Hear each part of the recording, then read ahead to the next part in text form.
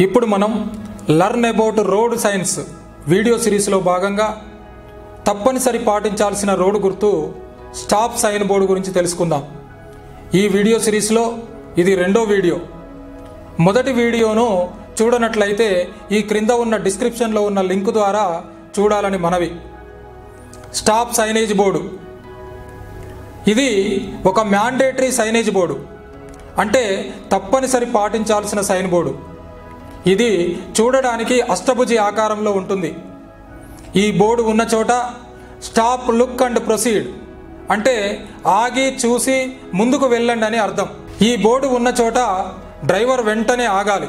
ఈ బోర్డును సామాన్యంగా సిగ్నల్ లేని జంక్షన్ వద్ద మరియు చిన్న రోడ్డు పెద్ద రోడ్డులో కలిసే చోట ఏర్పాటు చేసి ఉంటారు. కొన్ని సందర్భాలలో ట్రాఫిక్ నియంత్రించే అధికారులు తమ చేతిలో పట్టుకొని కనిపించవచ్చు. ఈ బోర్డు ఉన్న చోట స్టాప్ లైన్ దగ్గర ఆగాలి. ఒకవేళ స్టాప్ లైన్ లేకపోతే స్టాప్ బోర్డు ఉన్న స్తంభం దాటకుండా ఆగాలి. స్టాప్ లైన్ అంటే స్టాప్ బోర్డు కంటే ముందే రోడ్డుకు అడ్డంగా గీయబడిన తెల్లటి గీత.